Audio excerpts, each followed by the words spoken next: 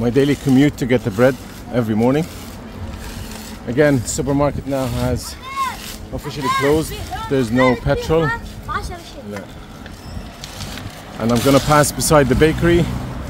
You're gonna see how the queues is growing and growing every day. Even with the aids coming in, it had zero impact. See how many people are queuing for the bread. Oh, worse and worse every day. What I'm noticing today, there's no cars moving, nearly nothing.